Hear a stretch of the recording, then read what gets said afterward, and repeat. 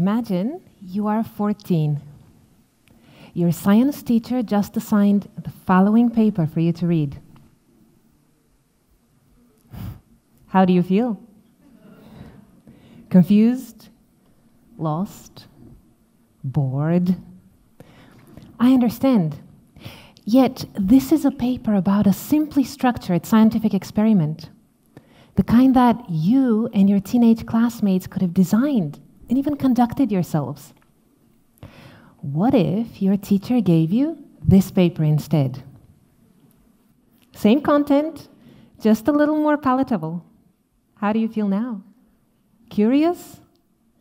Now you actually have a chance to understand what the original paper was about. And often we do need to understand original research. What if you wanted to find out about the latest medical treatment available for a specific disease? Or you wanted to better understand the impact of your choice of fish in the supermarket will have on the global ocean. However, science research is often hard to access by non scientists, as I came to realize. A few years ago, I was that teacher. I taught science in a high school in Texas. One day, I set up a project for my ninth graders. They had to pick and read a scientific paper from a peer reviewed journal and summarize it for their classmates. Boy, did they struggle. Not a single one of my 83 students managed to complete the assignment well.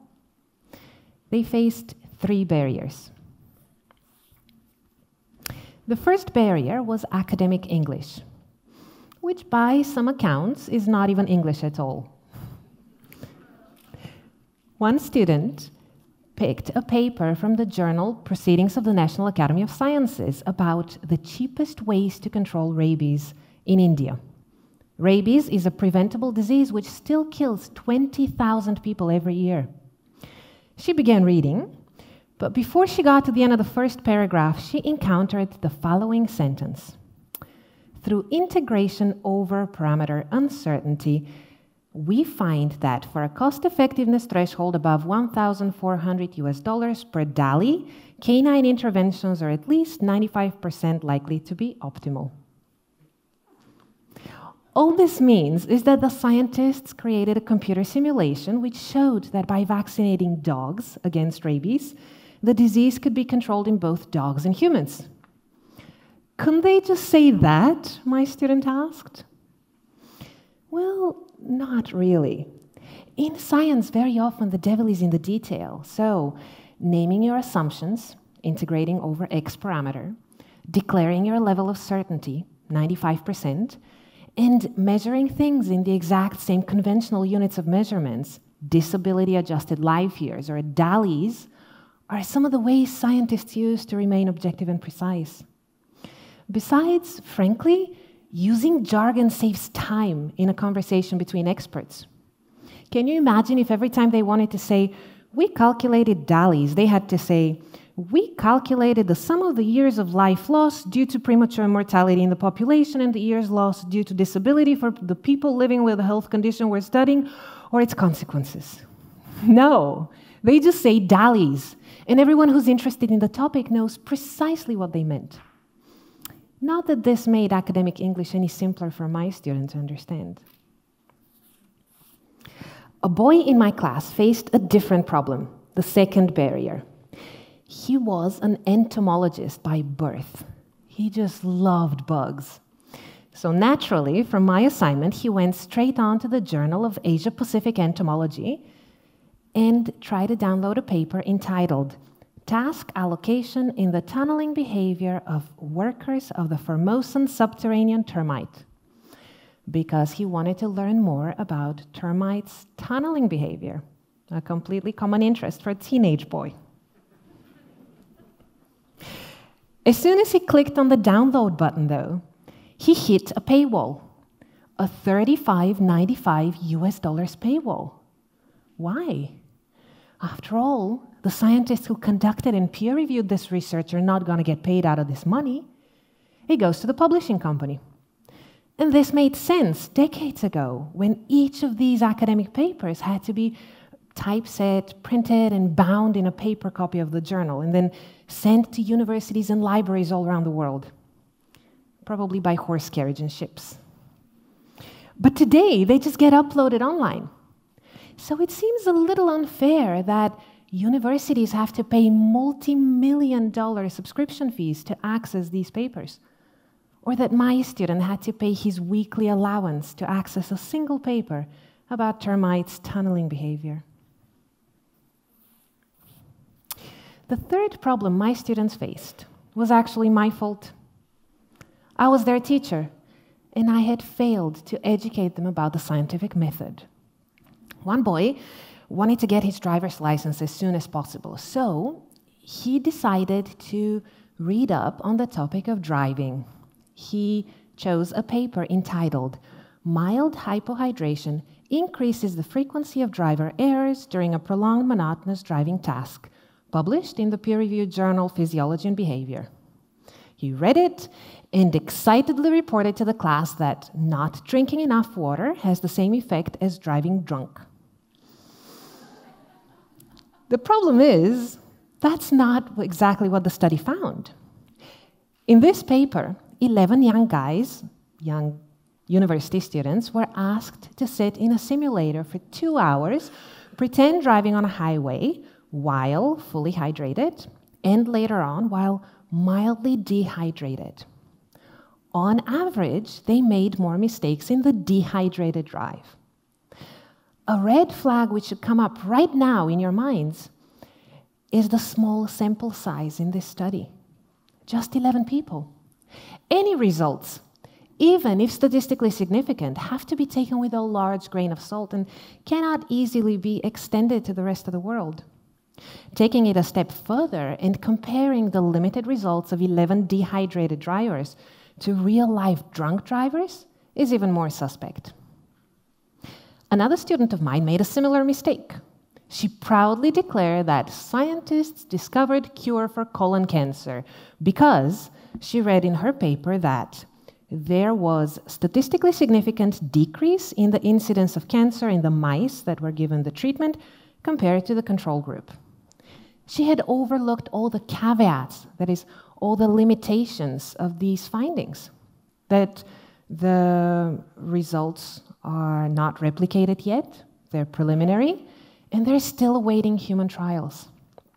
So, my students failed to realize the significance of things like experimental replication, sample size, or using model organisms like mice. Safe to say, I was disappointed. But I didn't give up. I really wanted them to get it. Besides, I was their teacher. It was my job to make sure they got it. So I picked one paper, read it carefully, and rephrased it in simpler words, walking the reader through all the essential details. It wasn't hard for me. I had read hundreds of academic papers in, in university, and they all essentially have the same structure. I had also worked as a science journalist during graduate school. A friend of mine, a graphic designer, reproduced the results graph using some kid friendly illustrations and laid it all out neatly on a couple of pages. I gave it to my students to read, and they loved it. I remember one of them saying, Thank you, I actually got that. Another one said, Wait, so that's what scientists do? Can I do that too? I was excited and went on to adapt a couple more papers. I got the scientists involved too. They proofread my adaptations to make sure I had restated their research correctly. However, as a teacher of 83 students in Texas, I realized that my impact was limited. I wanted more and more students all around the world to have access to the latest scientific discoveries. So, I set up a nonprofit publishing company, crowdfunded a little bit of startup capital, and Science Journal for Kids was born. Today, four years later, my team and I have adapted more than 100 academic papers from different disciplines by researchers in dozens of universities around the world. Many of them are translated into non English languages, and all of them are available for free to download. Tens of thousands of students read them every month. That's way ahead of my original 83. I am proud of the work we do, making scientific discoveries fun and accessible for anyone to learn. And fortunately, we're not alone in this. Let me tell you how other people are helping to cross the three barriers my students faced. First, popular science shows are at an all time high. You want to learn about thermodynamics or acid based chemistry? Easy. Watch a video by Khan Academy. You want to know if GMOs are bad for your health? Or how does a bee become a queen? Watch an episode of The SciShow. Khan Academy and The SciShow have 5 million YouTube subscribers each. And there are plenty of other high quality science teaching videos and podcasts, websites, not to mention books and TV shows and entire TV channels. With so much science being out there, though, one must be careful. There are some sources of low quality scientific information. I'm thinking gossipy TV talk shows or personal pseudoscience blogs. And that's why it's always important to have some expert academic oversight.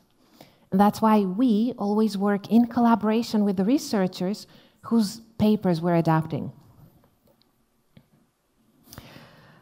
The second shackle holding science back, subscription paywalls, has also been seriously challenged in recent times by a new publishing model called open access.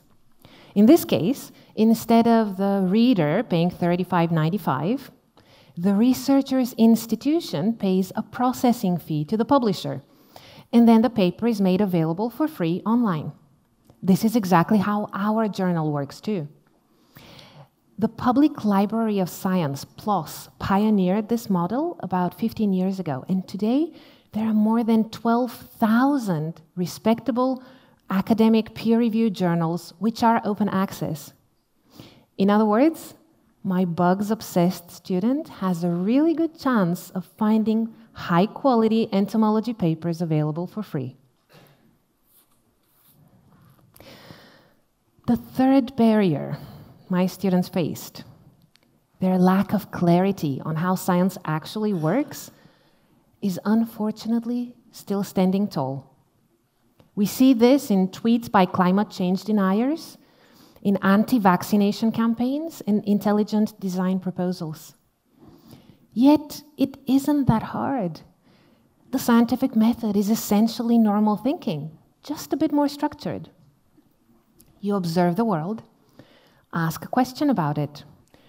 Do some background research to find out what's already known about this topic.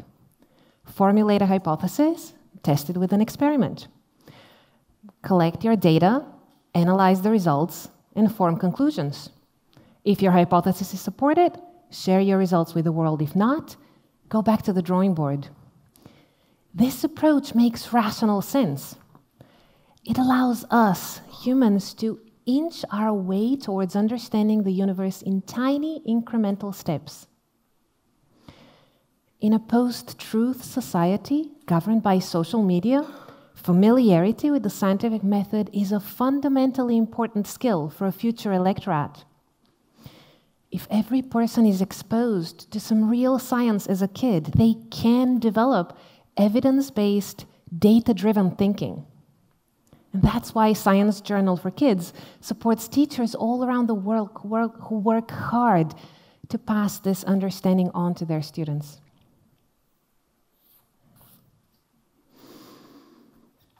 Scientific knowledge is important, and access to it shouldn't be that hard. After all, kids have the right to understand the world they're inheriting from us. Oh, and I bet you're still wondering about the bees and the flu? The answer is yes. Both honeybees and wild bees can catch viruses, but interestingly, only honeybees show symptoms. Science never fails to amaze. if we only let it. Thank you.